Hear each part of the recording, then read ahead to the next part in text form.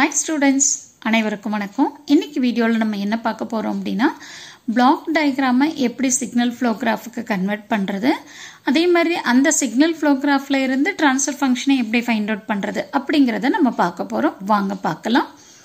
Convert the block diagram to signal flowgraph and determine the transfer function using Mason's gain formula so இதுதான் கொடுத்துருக்கிற block diagram ஓகேங்களா so இந்த problem உங்களுக்கு வந்து பார்த்தீங்கன்னா ரெண்டு விஷயத்துக்கு யூஸ் ஆகும். ஒரு பிளாக் டயக்ராமை எப்படி சிக்னல் ஃப்ளோகிராஃப்க்கு மாற்றணும் அப்படிங்கிற ஒரு விஷயம். இன்னொரு விஷயம் அந்த சிக்னல் ஃப்ளோகிராஃபில் இருந்து எப்படி ட்ரான்ஸ்ஃபர் ஃபங்க்ஷன் ஃபைண்ட் அவுட் பண்ணணுங்கிற விஷயம் நமக்கு தெரிஞ்சுக்க போகிறோம் ஓகேங்களா சரி வாங்க. இப்போ இந்த கொடுத்துருக்கிற பிளாக் டயக்ராமில் எத்தனை இன்புட் இருக்குது எத்தனை அவுட்புட் இருக்குது எத்தனை சம்மிங் பாயிண்ட் இருக்குது எத்தனை பிரான்ச் பாயிண்ட் இருக்குது அப்படிங்கிறத நீங்கள் பார்க்கணும். ஓகே ஸோ இந்த ப்ராப்ளம் எடுத்துக்கிட்டிங்க அப்படின்னா ஆர் ஆஃப் எஸ்ஸுங்கிறது ஒரு இன்புட் அதே மாதிரி சி ஆஃப் எஸ்ஸுங்கிறது ஒரு அவுட்புட் அப்போ ஒரு இன்புட் ஒரு அவுட்புட் இருக்குது சரிங்களா? அடுத்து சம்மிங் பாயிண்ட் எத்தனை இருக்குன்னு பாருங்கள் ஸோ டோட்டலாக இதில் வந்து மூணு சம்மிங் பாயிண்ட் இருக்குது ஓகே ஸோ இது வந்து சம்மிங் பாயிண்ட் ஒன்று இது சம்மிங் பாயிண்ட் டூ இது சம்மிங் பாயிண்ட் த்ரீ அடுத்து வந்து பார்த்தீங்கன்னா பிரான்ச் பாயிண்ட் எத்தனை இருக்குது அப்படிங்கிறத பார்க்கணும். ஸோ இங்கே ஒரு பிரான்ச் பாயிண்ட் இருக்குது அதே மாதிரி இங்கே ஒரு பிரான்ச் பாயிண்ட் இருக்குது இது நெக்ஸ்ட்டு பிரான்ச் பாயிண்ட் இது நெக்ஸ்ட்டு பிரான்ச் பாயிண்ட் அப்போ டோட்டலாக வந்து நமக்கு வந்து நாலு பிரான்ச் பாயிண்ட் இருக்குது மூணு சம்மிங் பாயிண்ட் இருக்குது ஒரு இன்புட் ஒரு அவுட்புட் இருக்குது சரிங்களா? இப்போ இதை வந்து நான் என்ன பண்ண போகிறேன் அப்படின்னா ஒரு நோடை அசைன் பண்ண போகிறேன் input output summing point branch point எல்லாத்தையும் நான் வந்து ஒரு நோடாக எடுத்துக்க போகிறேன் ஓகேவா சரி இப்போ பாருங்கள் ஆர்எஃப்எஸ்ங்கிறது இன்புட்டு அப்போது இது ஃபஸ்ட்டு நோட் அடுத்து பிரான்ச் பாயிண்ட் வந்து செகண்ட் நோட் நீங்கள் கேட்கலாம். மேடம் நான் எங்கேருந்து வேணாலும் நோடை ஸ்டார்ட் பண்ணி போடலாமா? நம்பரிங் கொடுக்கலாமா? அப்படின்னா அப்படி இல்லை. இன்புட்டில் ஸ்டார்ட் பண்ணி நீங்கள் முதல்ல கொடுக்கணும். இன்புட்டில் ஸ்டார்ட் பண்ணி கொண்டு போய் அவுட்புட்டில் முடிச்சுட்டு அதுக்கப்புறம் ரிமைனிங் இருக்கிற பாயிண்ட்டை நீங்கள் மார்க் பண்ணிக்கலாம். சரிங்களா? ஓகே இப்போ ஆர்எஃப்எஸ்ங்கிறது ஃபஸ்ட்டு நோட் அதே மாதிரி இந்த பிரான்ச் பாயிண்ட் வந்து செகண்ட் நோட் இந்த சம்மிங் பாயிண்ட் வந்து தேர்ட் நோட் இந்த சம்மிங் பாயிண்ட் வந்து ஃபோர்த்து நோட் அதே மாதிரி இங்கே பிரான்ச் பாயிண்ட் வந்து ஃபிஃப்த்து நோட் ஸோ இங்கே பிரான்ச் பாயிண்ட் வந்து சிக்ஸு இந்த சம்மிங் பாயிண்ட் வந்து செவன் இந்த அவுட்புட் வந்து எயிட் ஓகேங்களா அடுத்து வந்து பார்த்தீங்கன்னா இங்கே ஒரு பிரான்ச் பாயிண்ட் இருக்குது அதை நைனுன்னு மார்க் பண்ணிட்டோம். ஓகே இப்போ இதுக்கப்புறம் நம்ம என்ன பண்ண போகிறோம் சிக்னல் ஃப்ளோகிராஃபை போட போகிறோம் இந்த நோடை மார்க் பண்ணிட்டீங்க அப்படின்னா சிக்னல் ஃப்ளோகிராஃப் போடுறது ரொம்ப சிம்பிள் தான். ஒன்றுமே பிரச்சனை இல்லை. ஓகே இப்போ பாருங்கள் first node second node second node to third node இதில் கெயினோட வேல்யூ எதுவுமே கொடுக்கல. ஸோ அதனால் நம்ம என்னென்னு எடுத்துக்கணும்? ஒன்னுன்னு எடுத்துக்கணும். One to two two to three கெயினோட value one அதே மாதிரி த்ரீ டு ஃபோர் வந்து கெயினோட value G one four to five கெயினோட value G two five to six கெயினோட value G three six to seven seven to eight இங்கே gain கொடுக்கல. அதனால் ஒன்று ஒன்றுன்னு எடுத்தாச்சு ஓகேவா அடுத்தது பாருங்கள் இந்த சிக்ஸுக்கும் ஃபோருக்கும் இடையில் வேல்யூ கொடுத்துருக்காங்க. ஃபீட்பேக் ஹெச் டூ இந்த ஹெச் டூ எதோட கனெக்ட் ஆகிருக்கு நெகட்டிவில் கனெக்ட் ஆகிருக்கு அதனால் மைனஸ் ஹெச் டூ ஓகே அடுத்து ஃபைவுக்கும் நைனுக்கும் இடையில் நமக்கு ஒரு எலமெண்ட் இருக்குது ஹெச் ஒன் ஸோ இதுவும் எதோட கனெக்ட் ஆகிருக்கு மைனஸில் கனெக்ட் ஆகிருக்கு அதனால் மைனஸ் ஹெச் ஒன் நெக்ஸ்ட்டு ஃபோருக்கும் நைனுக்கும் நடுவில் கெயின் வந்து இல்லை. அப்போ நம்ம அதை வந்து யூனிட்டி கெயின்னு எடுத்துக்கணும். நெகட்டிவில் இருக்கிறதுனால மைனஸ் ஒன் நெக்ஸ்ட்டு வந்து பார்த்தீங்க அப்படின்னா நைனுக்கும் த்ரீக்கும் இடையில். இங்கே கெயின் வந்து ஒன்று தான். ஆனால் அந்த ஒன்று எதோட கனெக்ட் ஆகிருக்கு நெகட்டிவில் கனெக்ட் ஆகிருக்கு அதனால் மைனஸ் ஒன் நெக்ஸ்ட்டு டூக்கும் செவனுக்கும் நடுவில் ஒரு வேல்யூ இருக்குது அந்த வேல்யூ என்ன? ஜி ஃபோர் ஸோ இந்த ஜி ஃபோர் நம்ம எதோட கனெக்ட் ஆகிருக்கு பாசிட்டிவோட கனெக்ட் ஆகிருக்கு ஸோ அதனால் இங்கே ஜி ஃபோர்னு போட்டுட்டோம். ஓகேவா எவ்வளோ ஈஸி பாருங்கள் பிளாக் டயக்ராம்ல இருந்து சிக்னல் ஃப்ளோகிராஃப் போடுறது ரொம்ப ஈஸி உங்களோட நோடை நீங்கள் வந்து ப்ராப்பராக மார்க் பண்ணிட்டீங்க அப்படின்னா.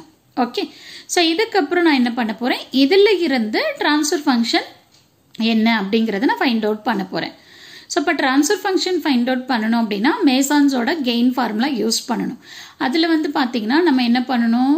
டிஃப்ரெண்ட் ஸ்டெப்ஸ் பண்ணணும். அந்த ஃபர்ஸ்ட் ஸ்டெப் என்ன அப்படின்னா ஃபார்வர்ட் பாத் எத்தனை இருக்கு அப்படிங்கிறத நம்ம கண்டுபிடிக்கணும். ஸோ இந்த ப்ராப்ளம்ல எடுத்துக்கிட்டு ஃபார்வர்ட் பாத் எத்தனை இருக்குன்னு கண்டுபிடிங்க. ஸோ ஃபார்வர்ட் பாத்னா என்ன சொன்னேன்? இன்புட் நோடில் ஸ்டார்ட் பண்ணி அவுட்புட் நோடில் கொண்டு போய் முடிக்கணும். ஓகே இப்போ பாருங்க. One to two two to three three to four four to five five to six six to seven seven to eight அப்போ இது ஒரு ஃபார்வேர்ட் பாத் ஓகேங்களா அடுத்து வந்து பார்த்தீங்கன்னா one to two two to seven seven to eight இது வந்து ரெண்டாவது ஃபார்வேர்ட் பாத் வேற எதாவது பாத் இருக்கா அப்படின்னா கண்டிப்பாக இல்லை. ஸோ இதில் வந்து total number of forward path two தான் இருக்குது ஓகே ஸோ டோட்டல் நம்பர் நீங்கள் கண்டுபிடிச்சிட்டீங்க அப்படின்னா அப்போ அதில் இருந்து கெயினோட வேல்யூ என்னன்னு கண்டுபிடிக்கலாம். So K is equal to two forward path வந்து ரெண்டு இருக்குன்னு சொல்லிட்டோம். அப்போது ஃபஸ்ட்டு ஃபார்வர்ட் பாத்தோட கெயினோட value so G one G two G three அந்த பாத்தில் இருக்கிற கெயின் எல்லாத்தையும் நம்ம வந்து மல்டிப்ளை பண்ணிக்கணும். அவ்வளோதான் அதே மாதிரி செகண்ட் ஃபார்வர்ட் பாத் எடுத்துக்கோங்க. அங்கே இருக்கிற கெயின் எல்லாத்தையும் மல்டிப்ளை பண்ணுங்கள் அப்போ நமக்கு என்ன வருது? ஜி ஃபோர்னு வருது. ஸோ பி ஒன் பி டூவோட வேல்யூ நமக்கு தெரிஞ்சிருச்சு. ஓகே அடுத்து வந்து பார்த்தீங்கன்னா step number two step number டூவில் நம்ம என்ன பார்க்க போகிறோம் அப்படின்னா இண்டிவிஜுவல் லூப் எத்தனை இருக்குது அப்படிங்கிறத நம்ம பார்க்க போகிறோம் ஓகேவா ஸோ இப்போ லூப்னு எடுத்துக்கிட்டிங்க அப்படின்னா ஸோ இதில் வந்து டோட்டலாக த்ரீ லூப்ஸ் இருக்குது அது என்னென்ன லூப் அப்படிங்கிறத பார்க்கலாம். Four to five five to six six to four இது ஒரு லூப் அதே மாதிரி four to five five to nine nine to four ஒரு loop okay next three to four four to five five to nine nine to three இது ஒரு loop okay so அப்போ டோட்டலாக நமக்கு எத்தனை லூப் இருக்குது அப்படின்னா த்ரீ லூப்ஸ் தான் இருக்குது இதை தாண்டி டிஃப்ரெண்ட்டாக யோசிக்க வேண்டாம். மேபி ஒரு சிலர் என்ன சொல்வீங்க? Three to four four to nine nine to த்ரீன்னு சொல்வீங்க. அது கண்டிப்பாக லூப் இல்லை. ஏன் மேடம் லூப் இல்லை? இப்போ பார்த்தீங்கன்னா த்ரீ டு ஃபோருக்கு போகுது. ஆனால் வந்து பார்த்தீங்கன்னா இங்கே பாருங்கள் ஃபோர் டு நைன் எடுத்துக்கிட்டிங்கன்னா இந்த டைரக்ஷனுக்கு இந்த டைரக்ஷன் எப்படி இருக்கு? ஆப்போசிட்டில் இருக்குது அப்போ இது வந்து லூப் இல்லை நமக்கு. ஓகேவா ஸோ அதனால் இதை வந்து நீங்கள் லூப்பாக எடுத்துக்கக்கூடாது பட் இங்கே பாருங்கள் ஃபோர் டு ஃபைவ்ல இருக்குது ஃபைவ் டு நைனில் இருக்குது நைன்லேருந்து ஃபோர் ஒரே டைரக்ஷனில் இருக்குது நான் நோடு ஃபோரில் ஸ்டார்ட் பண்ணேன் அதே நோட் ஃபோர்லேயே நான் வந்து முடிக்கிறேன் சேம் டைரக்ஷனில் நாட் எ டிஃப்ரெண்ட் டைரக்ஷன் ஓகேவா சரி. இப்போ டோட்டலாக த்ரீ லூப்ஸ் இருக்குன்னு கண்டுபிடிச்சிட்டோம். அப்போ இந்த லூப்போட கெயின் எழுதணும். இப்போ ஃபர்ஸ்ட் லூப் எடுத்துக்கிட்டு P one one is equal to minus G two G three H two அதே மாதிரி செகண்ட் லூப் எடுத்துகிட்டு P two one is equal to minus G two into H one அதே மாதிரி தேர்ட் லூப் எடுத்துக்கிட்டு P three one is equal to G one G two H one அடுத்து நீங்கள் கேட்கலாம் madam எந்த லூப் வேணாலும் first loop second loop third லூப்பாக எடுத்துக்கலாமா? அப்படின்னா கண்டிப்பாக எடுத்துக்கலாம். எது வேணாலும் ஃபஸ்ட்டு செகண்டு தேர்டு அப்படின்னு சொல்லி நம்ம எடுத்துக்கலாம். ஓகேங்களா? சரி. அடுத்த ஸ்டெப் நம்ம என்ன பண்ண போகிறோம் அப்படின்னா டூ நான் டச்சிங் லூப்ஸ் எத்தனை இருக்குன்னு நம்ம கண்டுபிடிக்க போகிறோம் ஸோ இந்த ப்ராப்ளமில் வந்து நமக்கு எந்த ஒரு டூ நான் டச்சிங் லூப்பும் இல்லை. சரிங்களா? ஓகே அடுத்து நம்ம என்ன பார்க்கணும்? Calculation of del and del K கண்டுபிடிக்கணும். ஸோ டெல் எப்படி நம்ம கண்டுபிடிப்போம்? One minus sum of all individual loop gain போடுவோம். சரிங்களா? ஸோ அப்போ one minus individual loop gain எத்தனை இருக்குது நமக்கு? இண்டிவிஜுவல் லூப் எத்தனை இருக்குது மூணு இருக்குது அதோட கெயின் வந்து P one one P two one P three one so அந்த வேல்யூ கொண்டு வந்து இங்கே சப்ஸ்டியூட் பண்ணுங்கள் இப்போ ஒவ்வொரு டேர்ம்லையும் நமக்கு வந்து மைனஸ் இருக்குது அந்த மைனஸை வெளியில் எடுத்துட்டிங்கன்னா ஆல்ரெடி இங்கே ஒரு மைனஸ் இருக்குது அப்போ மைனஸ் இன்ட்டு மைனஸ் ப்ளஸ் ஆயிரும். அப்போ del is equal to one plus G two G three H two plus G two into H one plus G one G two into H one இது delta okay அடுத்து வந்து பார்த்தீங்கன்னா நமக்கு ரெண்டு forward பாத் இருக்கிறதுனால del one del two கண்டுபிடிக்கணும். இப்போ tell one எப்படி கண்டுபிடிக்கணும் அப்படின்னு சொல்லி பார்த்தீங்கன்னா உங்களோட ஃபஸ்ட்டு ஃபார்வர்ட் பாத் எடுத்துக்கணும்.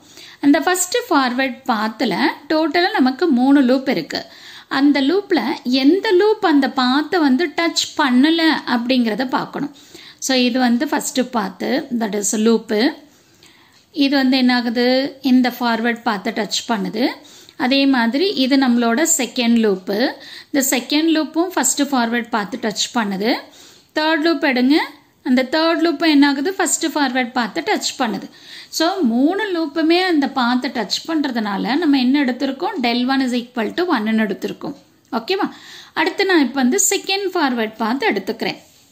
அப்போ இந்த செகண்ட் ஃபார்வேர்ட் பார்த்து எடுத்துட்டு எந்த லூப் டச் ஆகலை அப்படின்னு சொல்லி பார்த்தா மூணு லூப்புமே நமக்கு வந்து இந்த செகண்ட் ஃபார்வர்ட் பார்த்து டச் பண்ணலை. கரெக்டுங்களா ஏன்னா பாருங்கள் ஒன் டு டூ டூலேருந்து எங்கே வந்துடுது செவனுக்கு வந்துடுது சரியா? அதனால் என்ன ஆகுது? இந்த மூணு லூப்புமே நமக்கு வந்து டச் ஆகலை. ஸோ அப்போ நம்ம வந்து என்ன பண்ணணும்? டெல் டூவோட வேல்யூ எப்படி எழுதணும்? அப்படின்னு சொன்னிங்கன்னா ஒன் மைனஸ் ஆஃப் அந்த மூணு லூப்போட கெயின் வேல்யூ போடணும். இப்போ எல்லாத்துலேயும் நமக்கு மைனஸ் இருக்கிறதுனால மைனஸ் வெளியில் எடுத்துட்டிங்கன்னா ஆல்ரெடி இங்கே ஒரு மைனஸ் இருக்குது அப்போ மைனஸ் இன்ட்டு மைனஸ் ப்ளஸ் ஆயிரும். இப்போ del two is equal to one plus G two G three H two plus G two H one plus G one G two H one so del one del two எல்லாமே கண்டுபிடிச்சாச்சு. ஃபைனலாக நம்ம என்ன கண்டுபிடிக்க போகிறோம் transfer function கண்டுபிடிக்க போகிறோம் இப்போ transfer function is equal to one divide by del into P one del one plus P two del two okay P ஒன்னோட வேல்யூ பி டூவோட வேல்யூ தெரியும். அதே மாதிரி டெல் ஒன் டெல் டூ இப்போ தான் நம்ம கண்டுபிடிச்சோம். டெல்டா வேல்யூ நம்ம கண்டுபிடிச்சிட்டோம். ஸோ அந்த வேல்யூ எல்லாம் சப்ஸ்டியூட் பண்ணீங்க அப்படின்னா உங்களுக்கு ட்ரான்ஸ்ஃபர் ஃபங்க்ஷன் கிடச்சிரும். ஓகேவா அடுத்து வந்து என்ன பண்ணலாம் அப்படின்னா நீங்கள் நிறைய பேர் யோசிக்கலாம். மேடம் இங்கே டினாமினேட்டரில் இருக்கிற டேர்மும் இங்கே இருக்கிற டேர்மும் ஒன்றா இருக்குது அப்போ நான் அதை ரெண்டுத்தையும் கேன்சல் பண்ணிவிட்டு நான் பண்ணுறேன் அப்படின்னா அதை எதையும் பண்ண வேண்டாம். நீங்கள் சிம்பிளிஃபையே பண்ண வேண்டாம். உங்களுக்கு என்ன வேல்யூ வருதோ அதை சப்ஸ்டியூட் பண்ணி அதை ஃபைனலாக ட்ரான்ஸ்ஃபர் ஃபங்க்ஷன்னு எழுதிடுங்க. அவ்வளோதான் சரிங்களா? ஸோ அப்போது கண்டிப்பாக இந்த வீடியோ உங்களுக்கு யூஸ்ஃபுல்லாக இருக்கும்னு நினைக்கிறேன். தேங்க்யூ ஃபார் வாட்சிங் திஸ் வீடியோ